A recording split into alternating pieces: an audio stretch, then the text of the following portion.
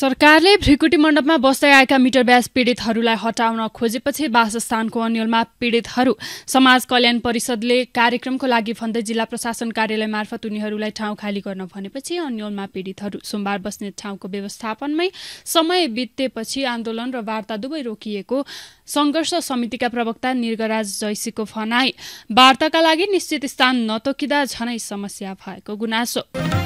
सोमबार लघुवित्त रेडीहरूले संघीय संसद भवनमा प्रवेश गरेपछि सुरक्षा व्यवस्थापनमा गम्भीर प्रश्न चिन्ह खडा भएको जानकारहरूको भनाई। निषेधित क्षेत्रभित्र रहेका नयाँ बानेश्वर स्थित संसद भवनमा लघुवित्त पीडितहरू प्रवेश गरेर प्रदर्शन गरेपछि सोमबार नै छानबिन समिति गठन।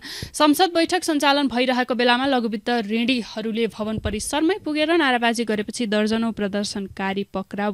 संसद भवनको दुई नम्बर गेटमा प्रहरीको संख्या न्यून रहेको मौका पारी। बस चढेर आएका आन्दोलनकारी एकाएक संसद संसद भवन प्रवेश गरेको एक प्रहरीद्वारा जानकारी। संसदमा सत्तापक्ष र प्रतिपक्ष बीच चलेको दोहोरीले संसद राम्ररी चल्न नसकेको भन्दै अख्तियारले डामेको र आयोगले पोलेका झण्डावालाहरूलाई झण्डाले छोपेर घर पठाउन नेपाली काङ्ग्रेसका सांसद गगन थापाको आग्रह। सहकारी ठग्ने र दुई चार थान नागरिकता राख्नेलाई पनि संसदमा नराखेर घरै पठाइदिएर अनुसन्धान गर्न लगाउनु पर्ने उल्लेख। लोकतान्त्रिक समाजवादी पार्टी नेपाल लोसपाका वरिष्ठ नेता राजेन्द्र महतोद्वारा पार्टी परित्यागको घोषणा। केही समयदेखि पार्टीमा छुट्टै अभियानका लागि गृह कार्य गरिरहेका सोमबार राजधानीमा पत्रकार सम्मेलन गरेर औपचारिक रूपमा राष्ट्र मुक्ति क्रान्ति नामक अभियानको घोषणा। तत्कालका लागि आफूले अभियान घोषणा गरेको र पार्टीको आकार भने ग्रहण गरि नसकेको उल्लेख। तर आफू वैकल्पिक शक्ति निर्माणमा लागेको भन्दै विचार मिल्नेहरू जोसुकै पनि अभियानमा जोडिन सक्ने भनाई।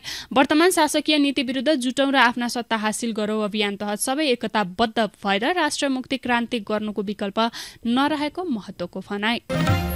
संक्रमणकालीन न्यायसँग सम्बन्धित बाँकी काम पीडितलाई न्याय दिने गरी अघि बढाउनु पर्ने उपप्रधान एवं गृहमन्त्री नारायण काजी श्रेष्ठको भनाई। शान्ति प्रक्रियाका बाँकी काम पीडितलाई न्याय दिने गरी राष्ट्रमा मेलमिलाप कायम हुने गरी र दिगो शान्ति कायम हुने गरी अघि बढ्नुपर्ने आवश्यकता रहेको उल्लेख। सत्य निरूपण तथा मेलमिलाप सम्बन्धी विधेयक पारित गरेर सत्य निरूपण तथा मेलमिलाप आयोग र बेपत्ता छानबिन आयोगको गठनलाई नयाँ ढंगले फेरि पूर्णता दिनुपर्ने आवश्यकतामाथि जोड। बालकुमारी घटनाको छानबिन प्रतिवेदन सार्वजनिक गर्न नेकपा एकीकृत समाजवादीका सांसद मेटमणी चौधरीको माग। सोमबार प्रतिनिधि सभा बैठकपछि सञ्चारकर्मीहरूसँग कुराकानी गर्दै बालकुमारी घटनाको छानबिन प्रतिवेदन सार्वजनिक गर्न माग। सो प्रतिवेदन सांसदहरूले पढ्न पाउनुपर्ने उल्लेख। प्रतिवेदनमा भौतिक पूर्वाधार तथा यातायात मन्त्री प्रकाश ज्वालाको कमजोरी देखिएमा मन्त्री ज्वालाले आधा सेकेन्डमा राजीनामा दिने र मन्त्री ज्वालाको राजीनामाको सन्दर्भमा पार्टीभित्र कुनै छलफल नभएको दावी।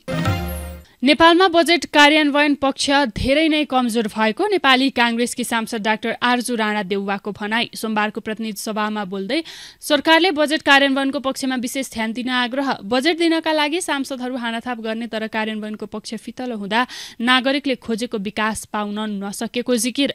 कृषि सहकारी तथा प्राकृतिक स्रोत समितिले सरकारलाई दुग्ध किसानको भुक्तानी गर्न दिएको निर्देशन कहाँ पुग्यो भन्दै गरिन् प्रश्न। विवादित मन्त्रीहरूले आफूमाथि उठेका प्रश्नहरूको संसदमा उभिएर जवाब दिनुपर्ने राष्ट्र स्वतन्त्र पार्टीका सभापति रवि लामी छानेको भनाई। सभामुखले पटक पटक रुलिङ गर्नुभएको भन्दै मन्त्रीहरूलाई संसदमा उभिएर जवाब दिन केले रोकेको छ भनी गरे प्रश्न। एनसेल खरिद बिक्री प्रकरणको छानबिन प्रतिवेदनमाथि पनि संसदमा छलफल हुनुपर्ने जिकिर।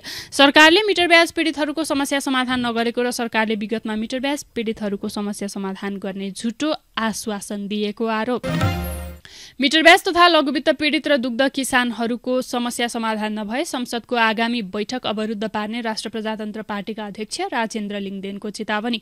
मिटर ब्याज पीडित र लघुवित्त पीडितहरूले फेरि काठमाडौँमा आन्दोलन चर्काइरहेका बेला सरकारले उनीहरूलाई खुसी बनाएर फिर्ता नगरे आफूहरू संसद र सड़क दुवै सङ्घर्ष चर्काउने चेतावनी।